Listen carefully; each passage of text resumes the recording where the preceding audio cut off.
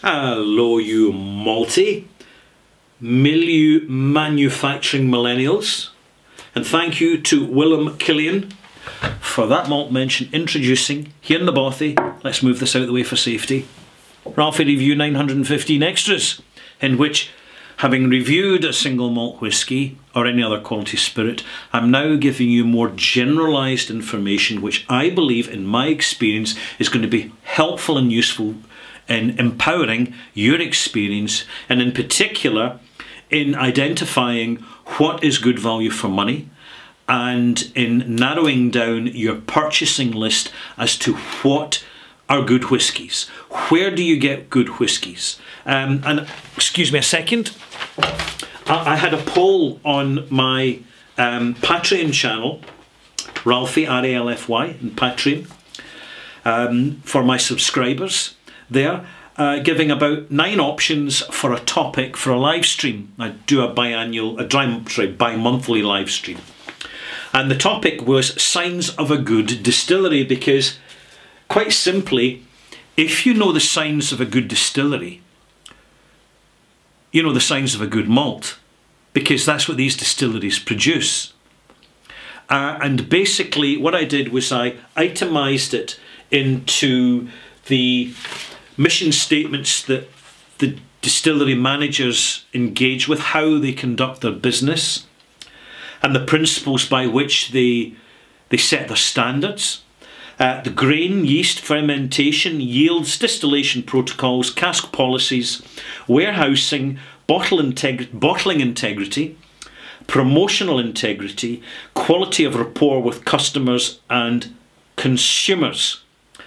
And also, the effect of this is supply and demand, and quite simply, one of the best base indicators of the signs of a good distillery is when there's high demand for their product, it's getting talked about regularly online, and um, it's when it goes on sale, it doesn't tend to hang about in shelves gathering dust.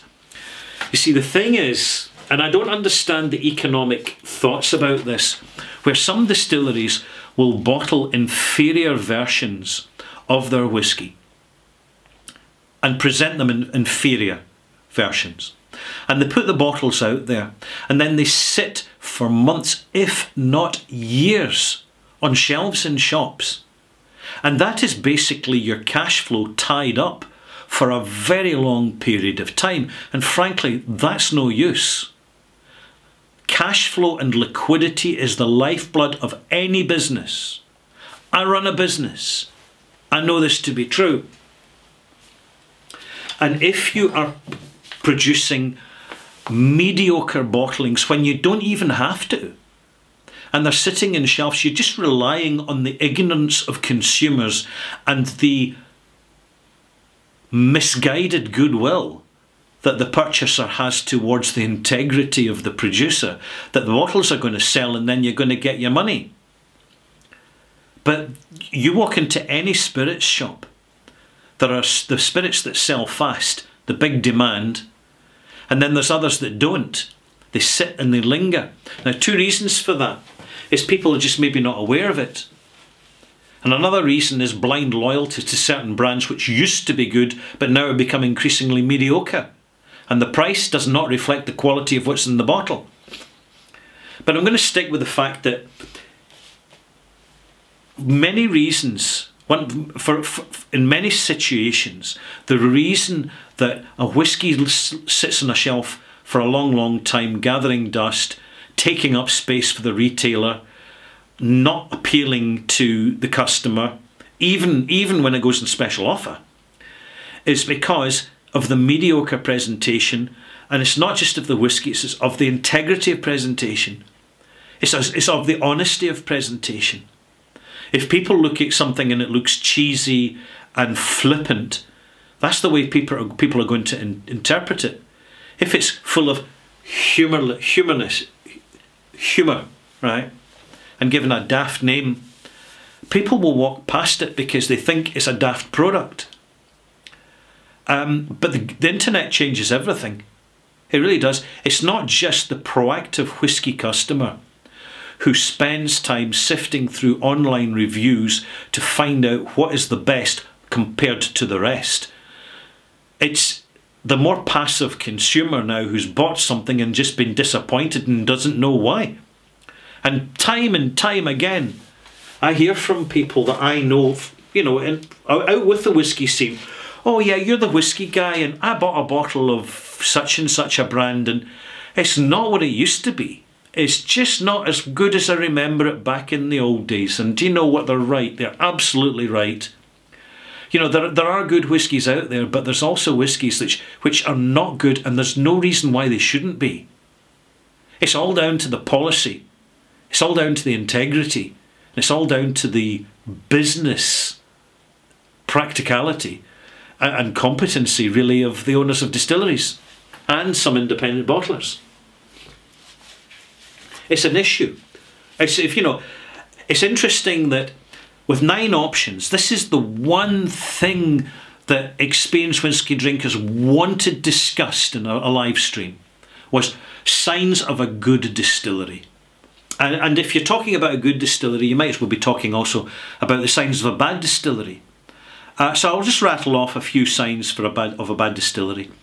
Bottles of whisky that need to be discounted and heavily marketed to sell. In other words, the money that the distillers, when they were producing the whisky, should have spent in quality casks to get good results, but they didn't. They trimmed the sales. They said, you know, the owner said, "No, this is your budget this year." Uh, so you know, we can just we'll we'll cover it over with marketing. Yeah, the marketing doesn't work. So the marketing team, very well paid people, by the way, they're out and about banging the drum, and people are listening to the script and they're saying, I can hear that from any distillery. This is getting boring. That's the signs of a bad distillery. When you don't have faith in the product, but you look at the brand and say, well, which one am I choose? Which is the best one that's available? Is it really, have you really got to say that to yourself about any brand? It just shouldn't be the case. They should all be competent. Not every whiskey can be five star. But every whiskey can be three and a half stars plus and four. Every whiskey can be. There's no excuse for two star whiskies, one star whiskies, zero star whiskies. No excuse for it at all. And we're seeing that in some blends. The quality of some blends, I'm noticing, it's just terrible.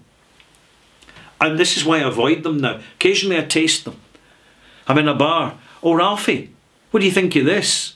And I'm handed a, a fairly prominent heavily promoted marketing blend and it's not good. It's chemically. That's why I would describe it chemically.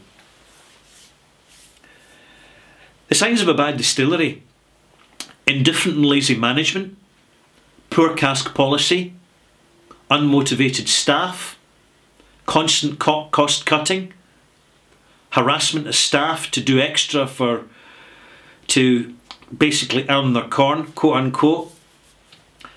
Um, heavy marketing, use of consultants, blingy bottles, showy packaging, all costs money.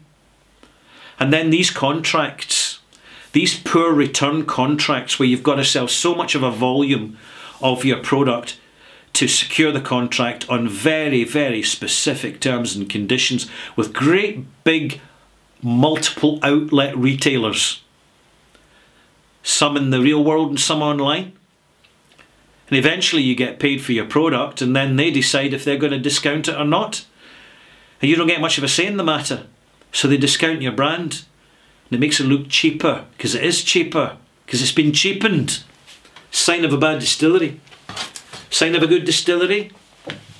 Glencadam, Arran, Ardnamurchan, Springbank, Glengyle. All you have to do is look at the good distilleries and then say, right, what other distilleries do it their way? Which other distilleries out there produce whisky properly? Which other kiss, which other, you know, there's going to be a website soon that comes along with a grading system that does an annual review based on, on, on numbers and actually rates every single Scotch whisky distillery in terms of competency and delivery. It's not my channel, but in the next generation, that that will get a huge audience, a huge audience. Ultimately, people come along to a Whiskey Channel to be mildly entertained and mildly informed and all the rest of it, and a wee bit of virtual company when you're on your own in the house with a wee dram. But there's another more important reason that people come along, and that is because they, people really want to know. Whisky fans really, really want to know that their next purchase of whisky for the money they pay is not going to be a huge, catastrophic disappointment that leaves them feel cheated and robbed. This is why we always go out there and we look for the signs of a good distillery. Because a good distillery will not do that to us. They will not commercially harm us. They will endorse us with the quality of what they produce and the price at which they deliver it to us. And fair enough, prices will go up when it's small distilleries and demand outstrips supply. That's market forces and there's nothing we can do about it, Maltmates. I'm just sharing. Hope you found this interesting. I'm Ralfy in the bothy. If you haven't subscribed, please do. And click a wee likey. And if you dislike it, you know, click that as well. I don't care. really, I don't. And um, if you're interested in my Patreon channel, go along to patreon.com. There's a link underneath in the description and check it out. Um, I don't I don't ask much. Just buy Ralph a wee dram per month. Um, a cheap dram will do, and uh, join the additional conversation with the extra videos. Bye.